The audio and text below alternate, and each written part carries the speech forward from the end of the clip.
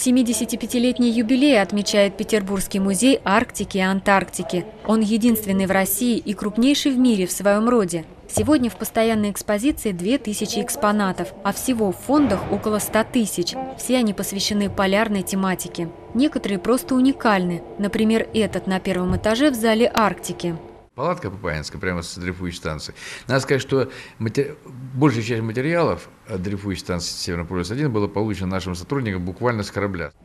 Здесь личные вещи исследователей, уникальные приборы и снаряжение экспедиций. Под потолком ледовый разведчик-самолет Ша-2. Есть даже штурвал ледокола «Таймыр», спасательный круг с парохода «Челюскин» и модель первого русского ледокола «Ермак». А эти диорамы ледового континента не имеют аналогов. Их создавали сотрудники музея в 30-е годы прошлого века.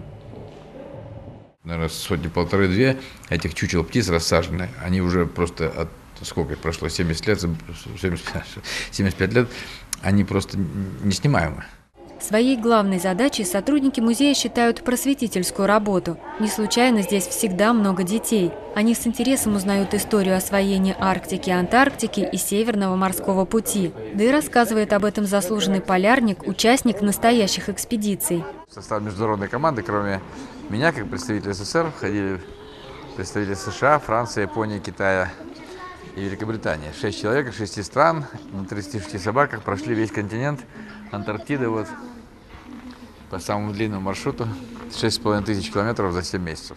Юным посетителям в музее интересно все. И экспонаты, рассказывающие об экспедициях, и северные животные. Мне больше понравилось в этом музее э, птичий базар, потому что я никогда не видел такое огромное количество птицы. Они, я думаю, что они там на своем птичьем языке разговаривают, общаются и помогают друг другу. Я никогда не видела вот именно белых медведей, не, не видела таких оленей, у которых рога и еще из, а, из алба рог. Корабли, у них такой красивый облик, э, паруса, трубы.